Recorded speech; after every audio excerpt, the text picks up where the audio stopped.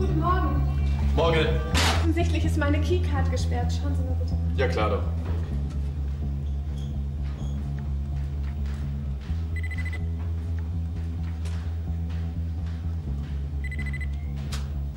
Ja, also die ist wirklich gesperrt, Frau äh, Kehra.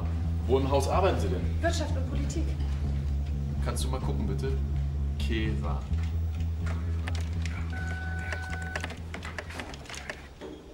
Tut mir leid. Laut System haben Sie keinen Zugang. Was? Das kann nicht sein.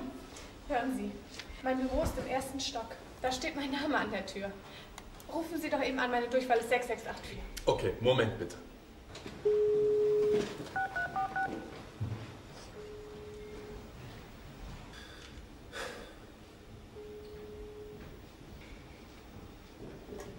Also, da geht niemand dran.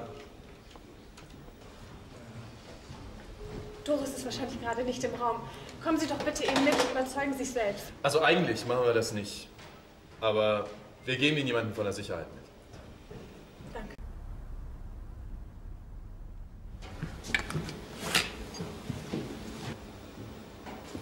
Morgen! Guten Morgen!